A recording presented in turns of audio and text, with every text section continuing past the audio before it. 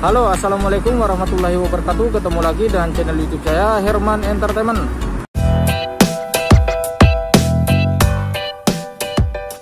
Nah teman-teman kali ini saya berada di Tanjung Pinang Akan menuju Tanjung Uban teman-teman.